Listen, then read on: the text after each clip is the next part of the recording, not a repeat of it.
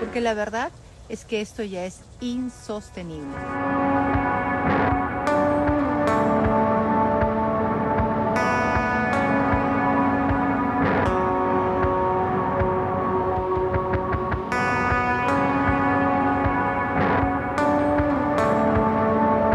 Que para la vacancia se necesitan muchos votos, pero si no se llega a ese consenso entre las fuerzas políticas, lo que queda es que el Congreso evalúe un adelanto de elecciones generales. Saludos desde Trujillo.